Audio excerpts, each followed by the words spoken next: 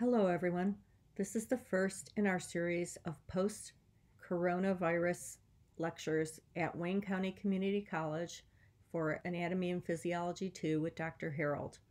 Um, the subject today is Nutrition and Metabolism, which is Chapter 41 from our Patton textbook. Nutrition is a really loaded topic, but we're going to stick with pretty much what is in your textbook.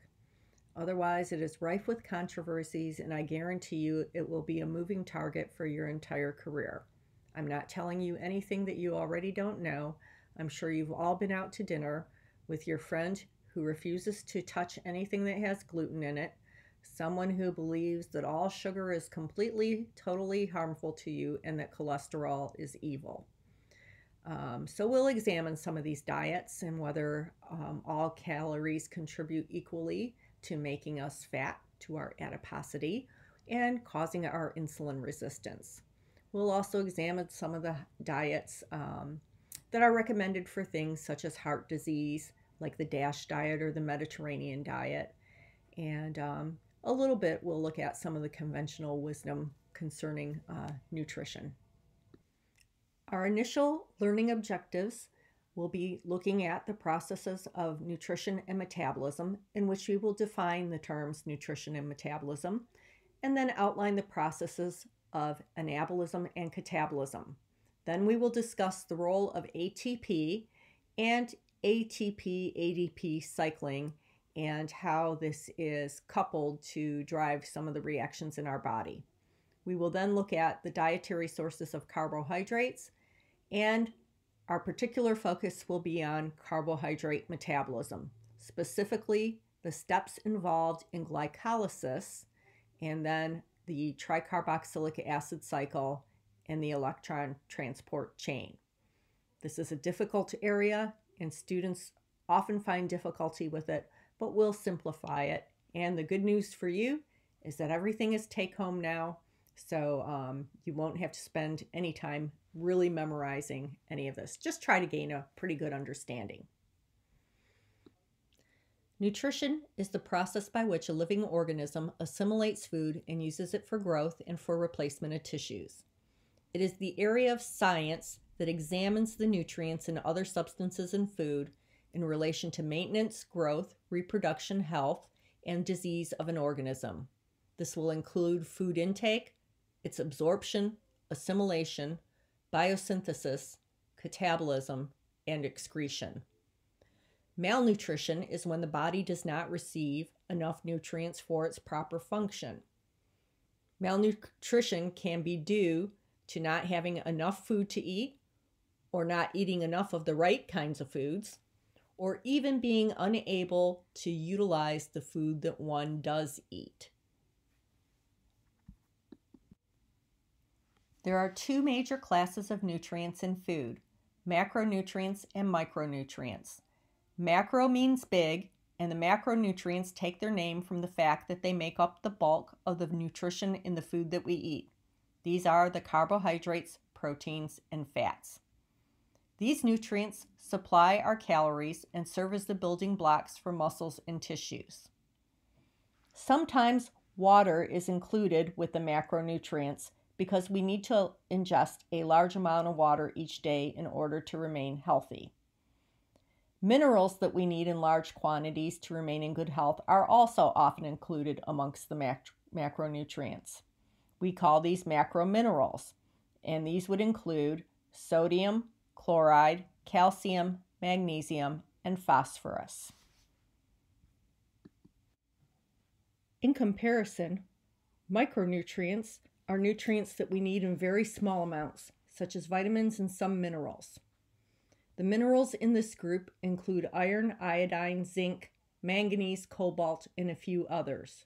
These mineral micronutrients are also called microminerals or trace elements. We must also examine whether nutrients are essential nutrients or non essential nutrients. Essential nutrients are ones that cannot be synthesized by the body and therefore must be supplied from foods. They include the building blocks of carbohydrates, lipids, and proteins, certain vitamins, minerals, and water. Non essential nutrients can be made by the body or obtained from sources other than foods and beverages.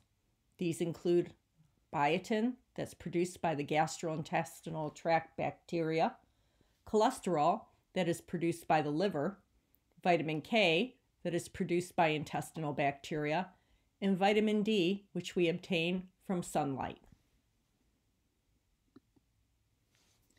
So, what then is a balanced diet?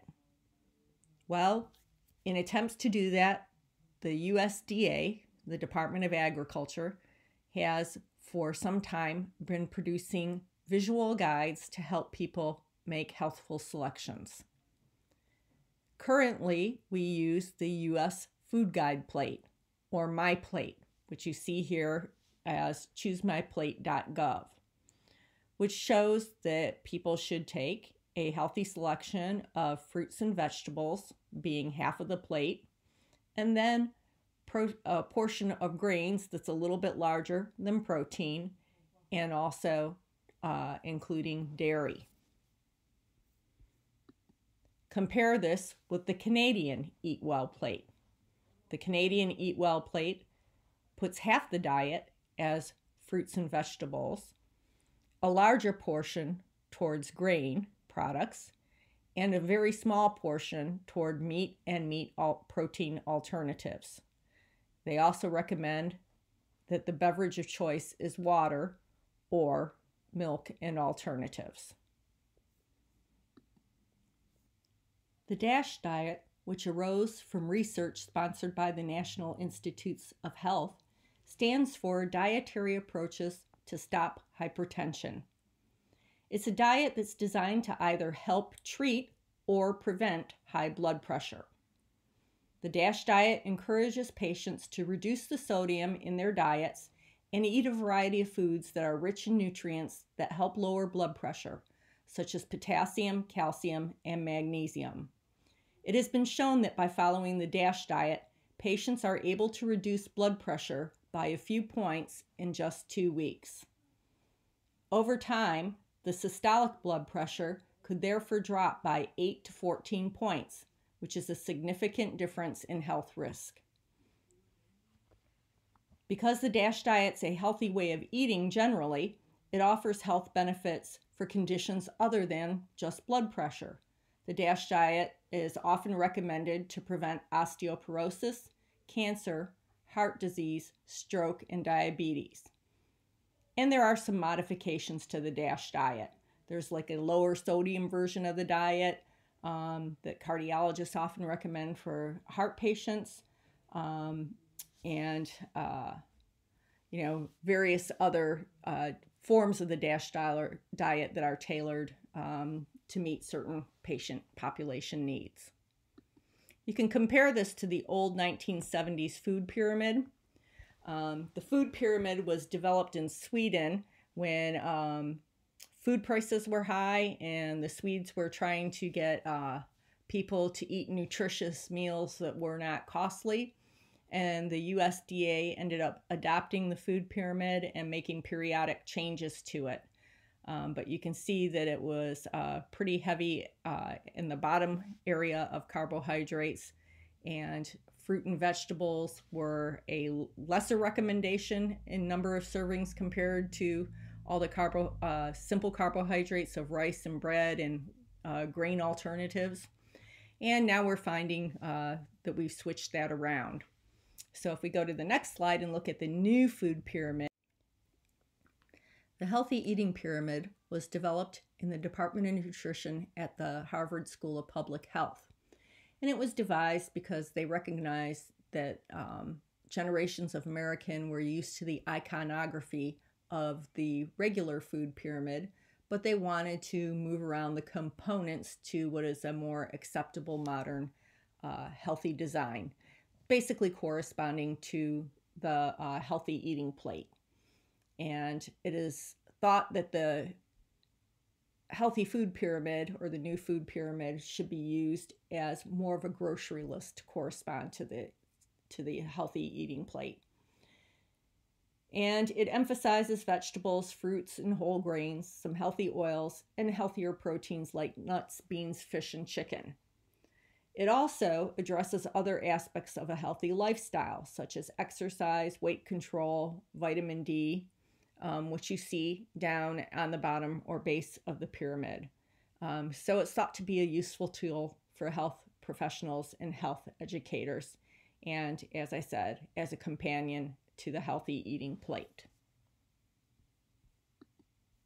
Maintaining the iconography, um, other diets also use that uh, pyramid. Um, and here you see the ketogenic paleo food pyramid. A keto diet or ketogenic diet is a low carb, moderate protein, and higher fat diet that is useful for helping to burn fat more effectively.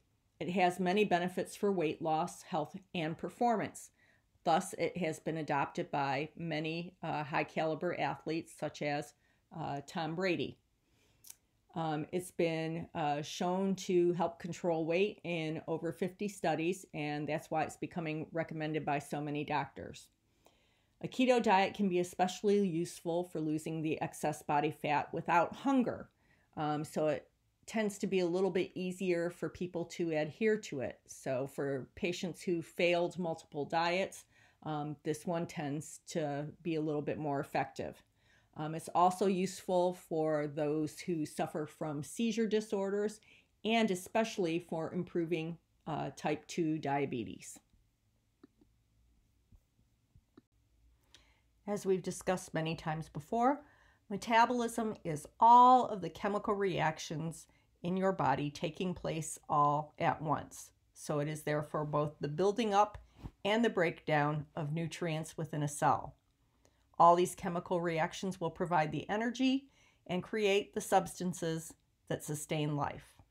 It's divided into two parts catabolism, which breaks down complex molecules and releases energy, therefore, it is exergonic, and anabolism, which util- utilizes energy and building blocks to build more complicated or complex molecules.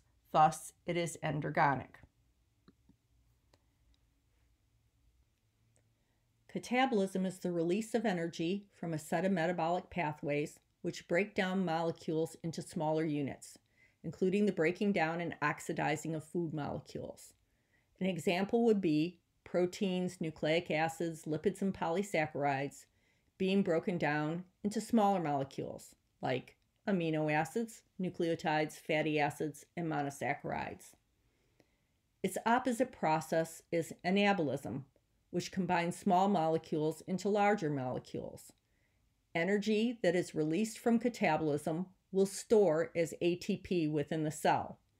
The cell will then use this source of energy for synthesizing cell components from simple precursors, for the mechanical work of contraction and motion, for transport, transport of substances across its membrane, and the like.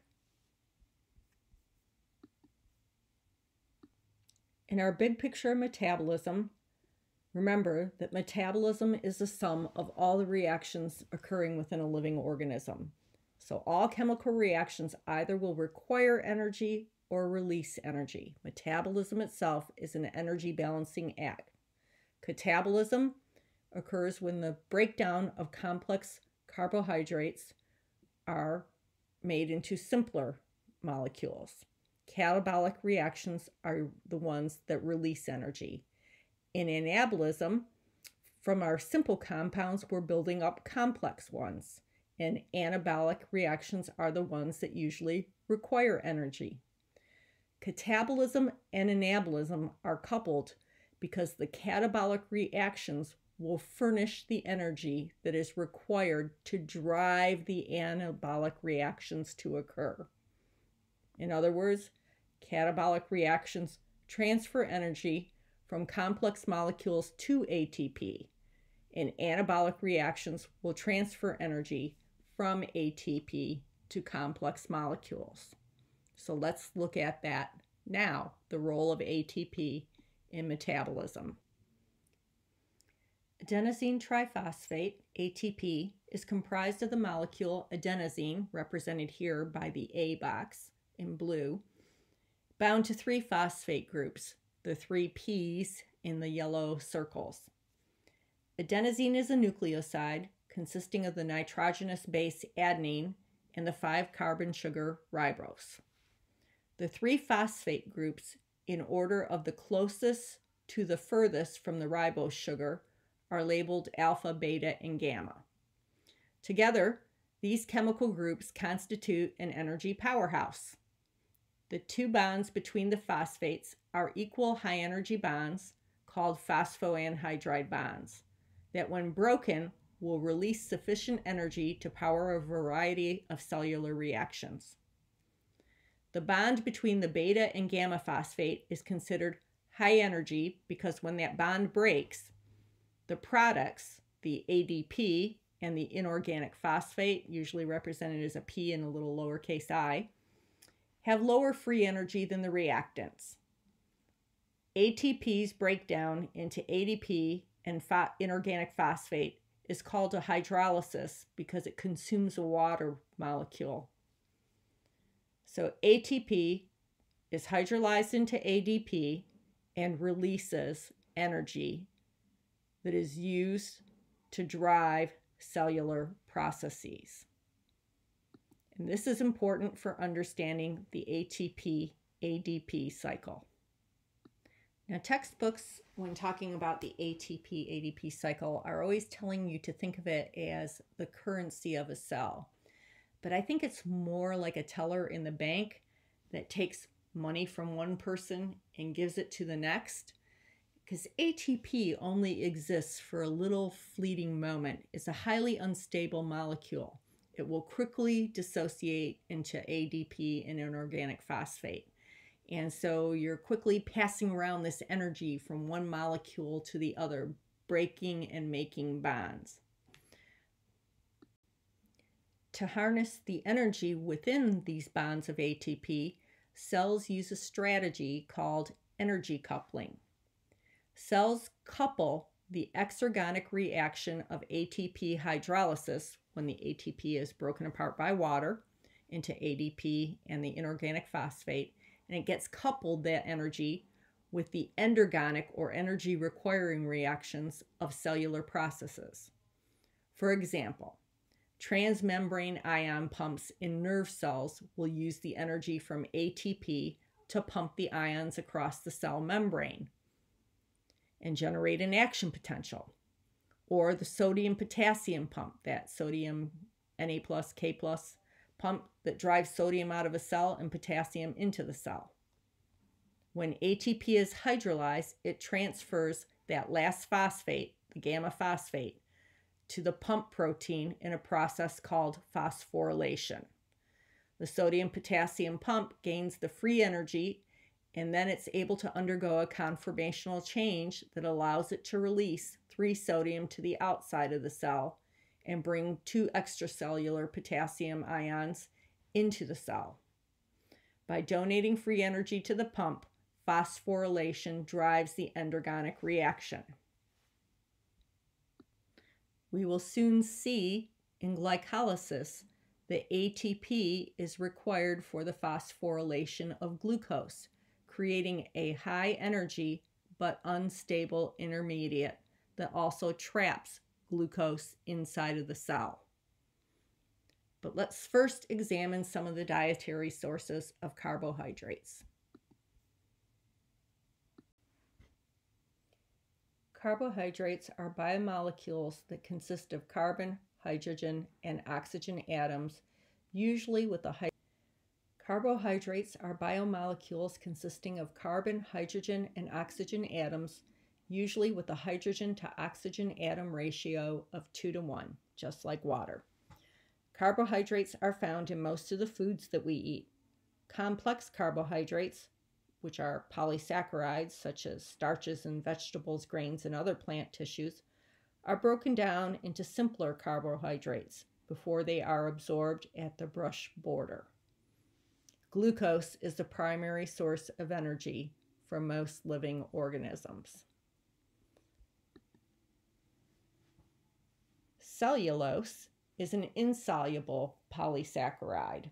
It's found in the cell walls of all plants, and it's one of the main components of insoluble dietary fiber or roughage. Although it is not digestible, insoluble dietary fiber helps to maintain a healthy digestive system by easing defecation. Other polysaccharides contained in dietary fiber include resistant starch and inulin, which feed some bacteria in the microbiome of the large intestine and are metabolized by these bacteria to yield short chain fatty acids.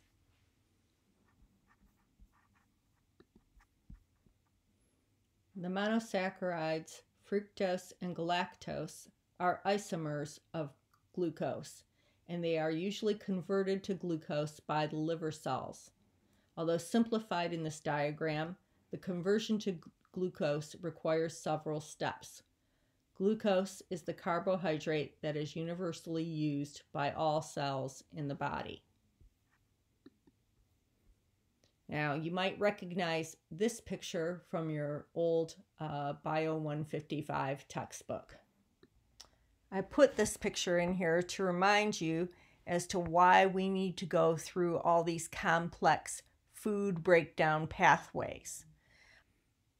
As represented in the bottom cartoon, uh, we have a schematic representation of the controlled stepwise oxidation of sugar in a cell compared to ordinary burning, which is the top photograph, where you see glucose burning there on a spoon. In the cell, enzymes catalyze oxidation via a series of small steps in which the free energy is transferred in conveniently small sized packets to carrier molecules, which will most often be ATP and NADH. At each step, an enzyme is controlling the reactions by reducing the activation energy barrier that has to be surmounted before specific reactions can occur the total free energy released is exactly the same in the picture with the spoon at the top and the picture at the bottom in the stepwise fashion. But if the sugar was instead oxidized to carbon dioxide and water in a single step, it would release an amount of energy much larger than could be captured for useful purposes. Okay, so now let's look at these food breakdown pathways.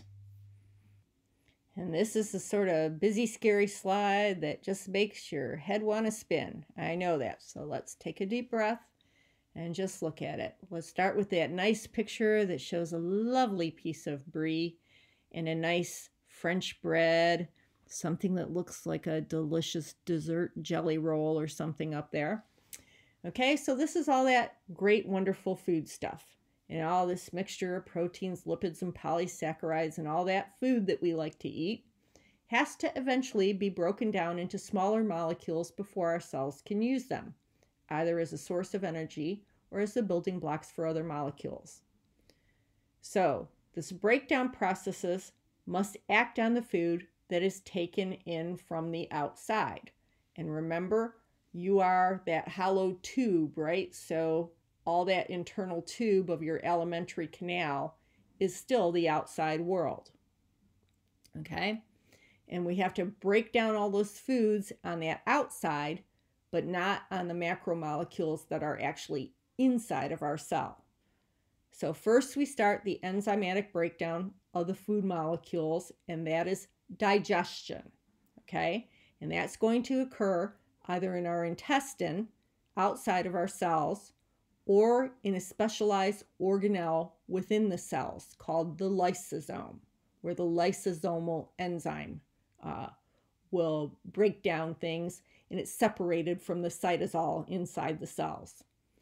In either case, these large polymeric molecules in the food are broken down during digestion into their monomer subunits the proteins and the amino acids, the polysaccharides into the sugars, and the fats into the fatty acids and glycerol through the action of enzymes. After digestion, the small organic molecules derived from the food will enter the cytosol of the cell, where their gradual oxidation begins. Okay? And that's where we're going to begin our carbohydrate breakdown pathways. So, overall, our pathway of aerobic respiration is going to take that molecule of glucose, the C6H12O6, in the presence of oxygen, and we're going to have products formed that will be carbon dioxide, our waste product that we blow off in respiration, water, and ATP. We're going to examine the three stages of aerobic respiration that first starts out with glycolysis that breaks down glucose into two 3 carbon units of pyruvate. Okay, then we're going to acetylate that and form acetyl CoA, which enters the Krebs cycle or the tricarboxylic acid cycle. Okay, and that goes into the mitochondrion. And then our final stage will be the electron transfer phosphorylation or electron transport chain. And uh, that's where we make the bulk of our ATP. Okay, so let's look again at this food breakdown pathway and orient ourselves for where we start with all of this. Okay, so first you're going to see we have all of our food stuff outside of that gray cell, and it's going to get digested outside of the cell. And then these small organic molecules derived from the food will enter the cytosol. So you see all of that entering into that gray box, which is the cell, entering the cytosol, where their gradual oxidation is going to begin. And the first stage is going to be glycolysis, which will occur out in the cytosol. And then through glycolysis, we form pyruvate. And you see pyruvate is still out there in the cytosol. That will become acetylated and it then enters the mitochondria where we're going to enter into the tricarboxylic acid cycle. See right there in the center. And we're going to come out of there. We're going to be transferring a whole bunch of energy in that cycle into a bunch of coenzymes. We're going to form a small amount of ATP, but most of the energy is going to get transferred to the coenzymes. So we'll keep very good track of those coenzymes in the uh, tricarboxylic acid cycle. And then we're going to take all those coenzymes from the tricarboxylic cycle and transport them into the uh, leaflets of the mitochondria on the mitochondrial membrane. And that's where the electron transport chain is in that uh, uh, green box. And we will then extract the high energy uh, electrons from those coenzymes and make a large amount of ATP. Okay, so let's begin by looking at glucose transport into the cell. Glucose is first taken up by the cell at a glucose transporter. And then a phosphate group is immediately attached to the glucose. This phosphorylation of glucose will trap that glucose inside the cell so that it can't go back out of the transporter. The glucose is phosphorylated by ATP to form glucose 6 phosphate or G6P. And that now bears a charge, and it is that charge that disables the G6P from leaving the inside of the cell. Phosphorylation is the process of adding the phosphate group to the glucose molecule. In most cells of the body, glucose phosphorylation is an irreversible reaction. However, in a few cells, uh, particularly those of the intestinal mucosa, the liver, and the kidney cortex, the renal cortex, glucose phosphorylation is reversible. These cells contain a phosphatase, an enzyme that can split the phosphate off from the glucose 6 phosphate.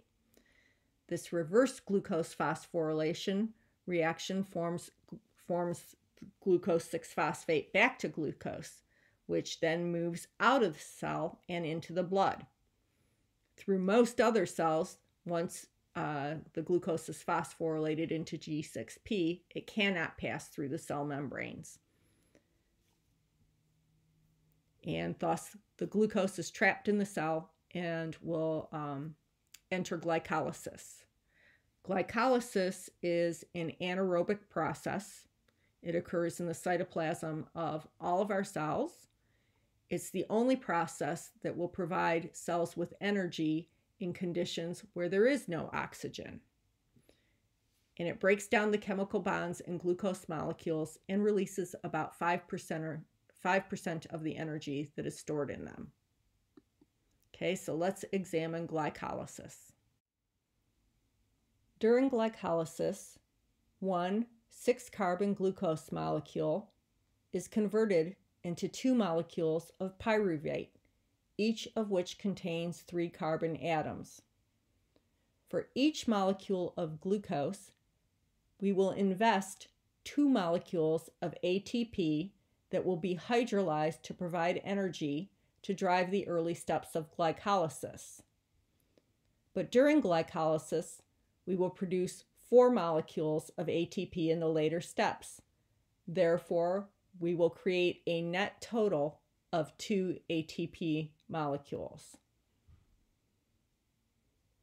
Another reaction during glycolysis yields enough energy to convert NAD to NADH, reducing NAD to NADH plus a hydrogen ion. The reduced coenzyme NADH will later be used in the electron transport system and its energy will be released there. So during glycolysis, two NADH molecules are produced. And sometimes when people start examining glycolysis in the tricarboxylic acid cycle, they spend so much time looking at what's happening to the carbon backbone of glucose. And the real important thing for you to watch is where you're making your ATP and where you're making these reduced coenzymes that store a lot of energy that will later be used in the mitochondria to create more ATP. So pay more attention to that.